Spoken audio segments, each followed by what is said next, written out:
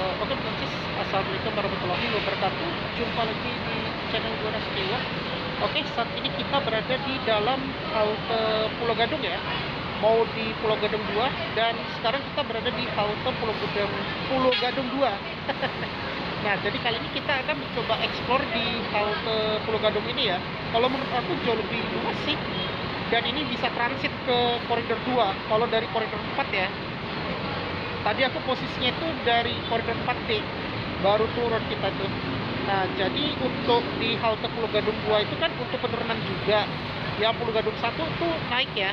Sama kalau kenaikan di Pulau Gadung 2 kalau koridor 4 jadi kalau kamu mau transit ke koridor 2 itu nggak perlu tap out ya. Jadi udah langsung bisa transit ke sana ke sisinya halte Pulau Gadung 1 jadi kita akan coba explore koridor eh koridor halte Pulau Gadung 2 baru kita ke halte Pulau Gadung 1 oke kita mau ke sana. Let's go.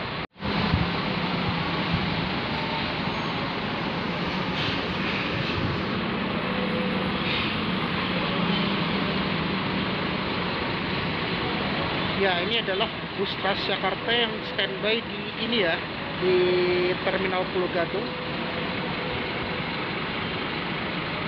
Sebenarnya aku mau keluar tapi kayaknya nanti dulu baru kita keluar nah jadi untuk uh, penurunan nah di situ ya untuk penurunan itu yang pintu D, E dan F itu itu penurunan ya.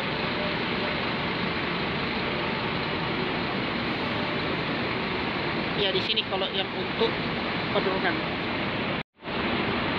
Nah jadi yang untuk penurunan itu di pintu D, E dan F mau koridor 2 maupun koridor 4 ya yang koridor utama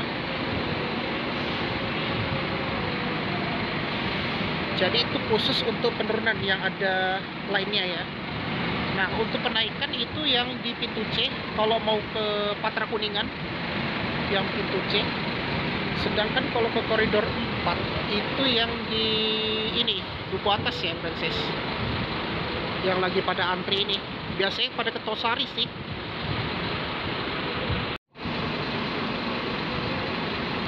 Jadi kayak gini untuk di halte kita berada di halte Pulau Gadung 2 ya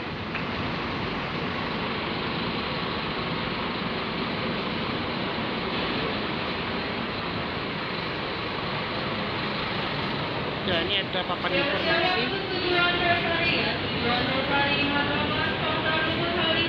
ya ini Pulau Gadung 2 oke. Okay. ya jadi kayak gini ya posisinya ini kayak kita di bundaran. Oke. Okay. bagus juga nih haltenya.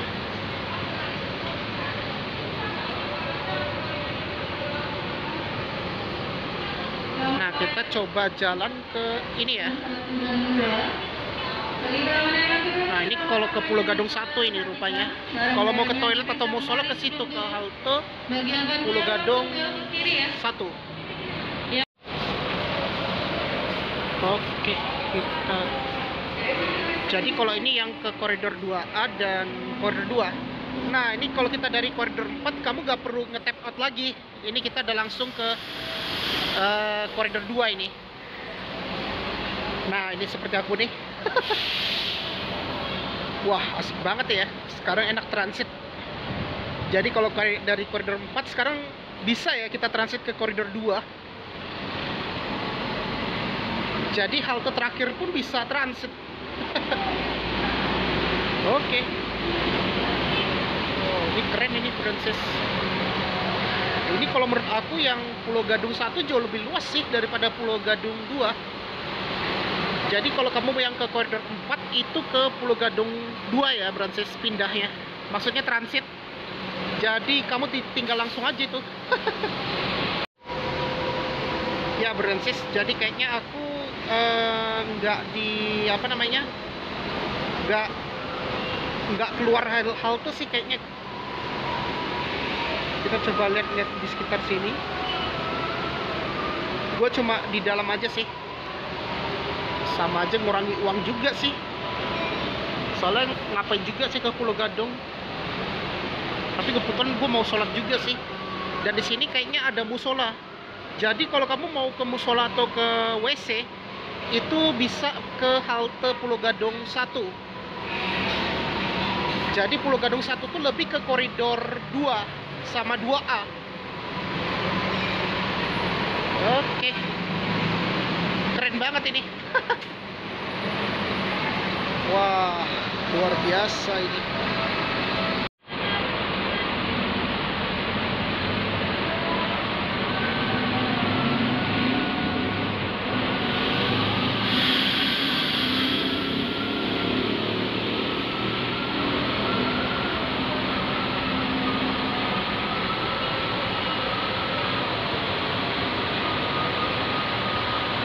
Nah, jadi di depan ini ada koridor 2A ya. Eh, 2. 2 yang ke Monas. Sorry, sorry. Nah, di belakang ini baru yang 2A. Oke. Ini kita berada di halte Pulau Gadung 1.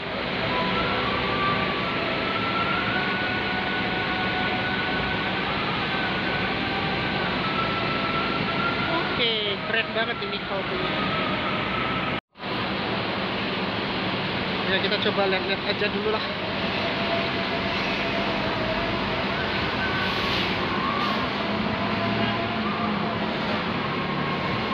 Ya, oke ini keren ya haltenya.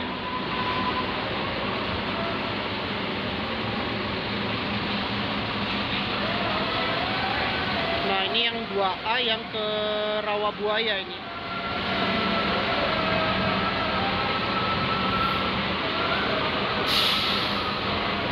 Oke, kita cek-cek dulu.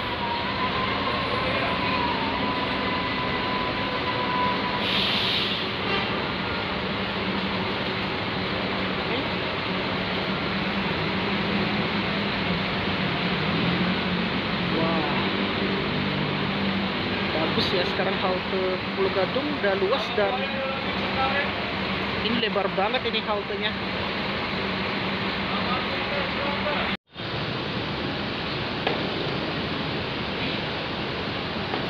Nah, jadi kayak gini ya situasi di halte Pulau Gadung 2 sama Pulau Gadung 1. Oke, ini adalah halte Pulau Gadung 1. Nah, untuk antrinya naik yang koridor 2 agak ujung sana ya, yaitu yang di pintu D, E, dan F. Lengkap ada wayfindingnya, tapi desainnya sama aja sih. Kalau bangunan-bangunan kayak di Ragunan sama ini kayak di halte aduh lupa namanya. Jati Padang Kuningan Barat.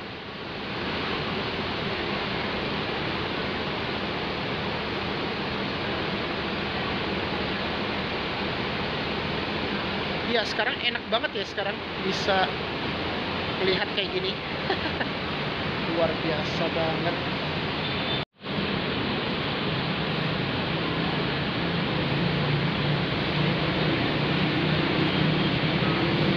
Iya sekarang enak ya haltenya luas banget.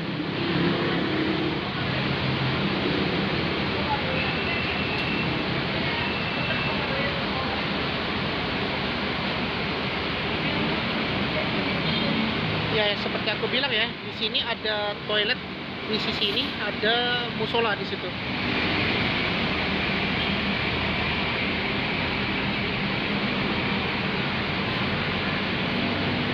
kalau di sini memang banyak makanan juga sih oh, itu ada bus Transjakarta koridor 4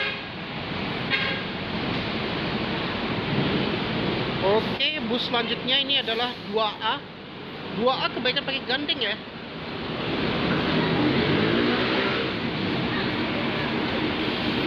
Nah, itu ada 4D yang ke Patra Kuningan. Ya, kebetulan ini tadi pas sholat maghrib dan ini nggak begitu ramai banget kalau di halte Pulau Gadung 2 ya, Francis. Eh, Pulau Gadung 2, Pulau Gadung 1. ini kayaknya jauh lebih lebar daripada di Pulau Gadung 2. Nah, ini ada 2A. Ini yang ke rawa buaya ya berarti ya?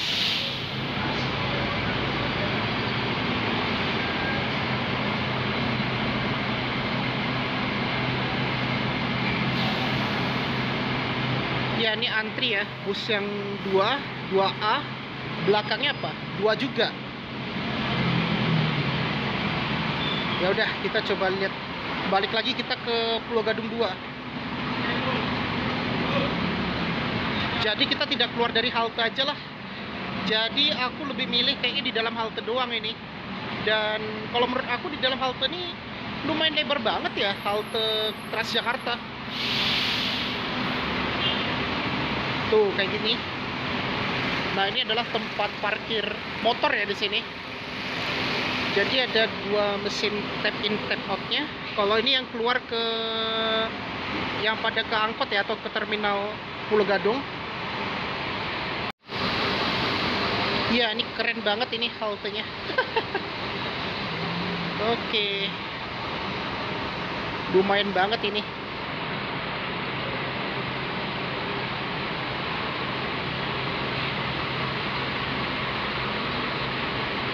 Oke, kita coba jalan ke ini ya kita. Jadi kayak gini untuk yang di sisi Pulau Gadung yang satu. Nah, kita balik lagi ke Pulau Gadung 2.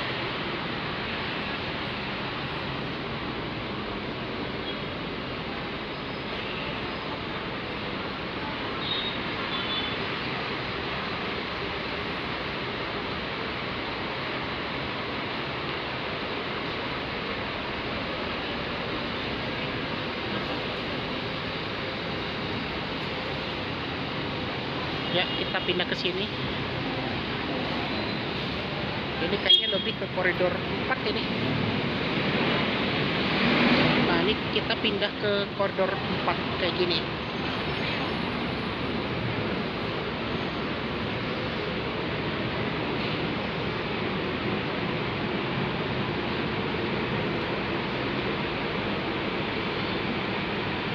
Ya balik lagi kita nih.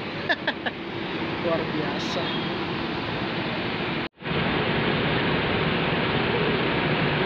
jadi kayak gini ya kesibukan di halte Pulau Gadung. Pulau Gadung ya Francis? Nah ini ada yang koridor 2 yang ke ini yang penurunan ya yang dari Monas sini. Jadi ini adalah bus standby nya di sini untuk Transjakarta.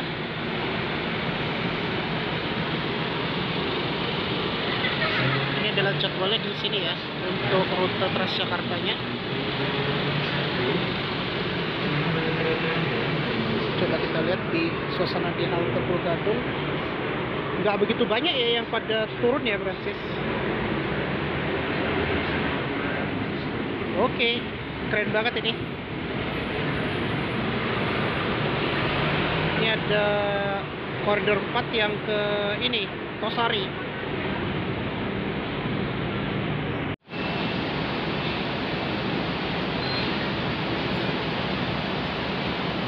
Wah, ini sibuk banget ya bus Transjakarta di sini. Luar biasa banget.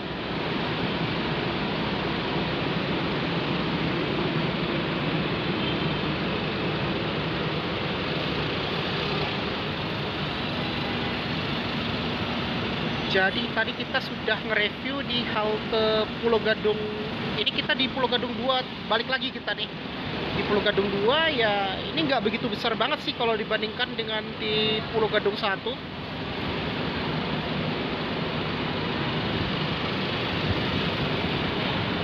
gue udah lama nggak nge-review halte juga sih sejak ini mudik.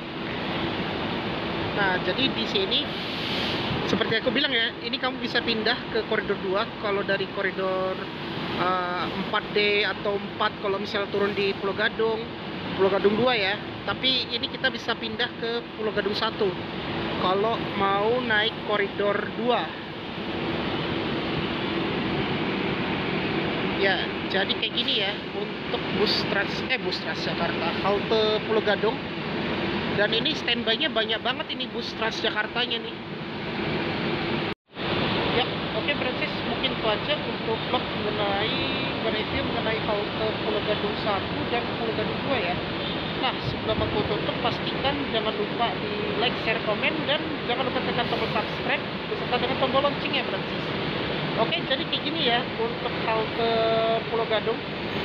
uh keren banget ya luar biasa ini halte Pulau Gadung 1 dan 2 nah jadi kayak gini dan kalau ini nggak begitu ramai banget tapi kalau ini kan kebaikan pada standby bus Transjakarta jadi yang untuk melayani rute BRT itu ya 2A, 2, 4, dan 4D sekarang 4H udah nggak ada karena sudah uh, berakhir itu kemarin tanggal 30 April.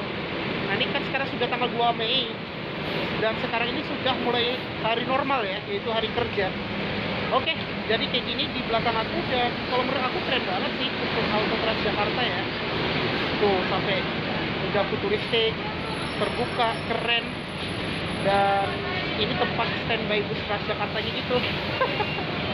Ya uh, mungkin itu aja ya untuk vlog kali ini dan terima kasih sudah menonton di channel gue Restiwak dan sampai jumpa di video selanjutnya. Wassalamualaikum warahmatullahi wabarakatuh